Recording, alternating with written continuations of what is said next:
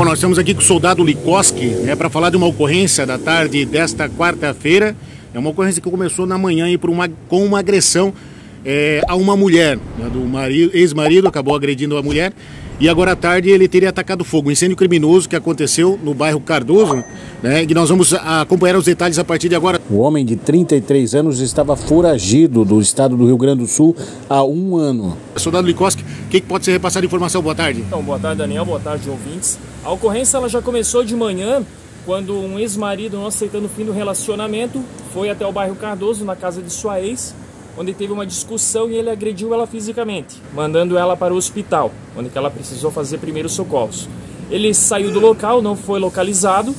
Não contente com toda a situação, ele voltou na parte da tarde, quando a casa estava vazia, que a mulher estava no hospital. É uma casa geminada, com várias casas ao lado.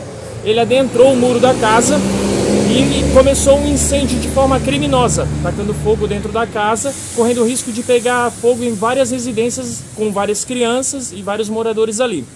De imediato, o Corpo de Bombeiros deslocou até o local, fez um trabalho de excelência contendo as chamas, evitando o mal pior, e os próprios populares informaram que ele havia se evadido a pé sentido Ribanceira, para se esconder num apartamento de um amigo lá no residencial Ecoville.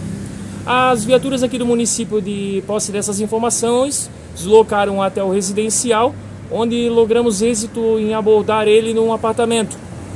De primeiro momento, ele negou os fatos, que tinha atacado fogo, mas após as testemunhas confirmarem que era realmente ele com as vestes dele, ele admitiu o fato que agrediu a ex-mulher de manhã e teria atacado fogo como vingança.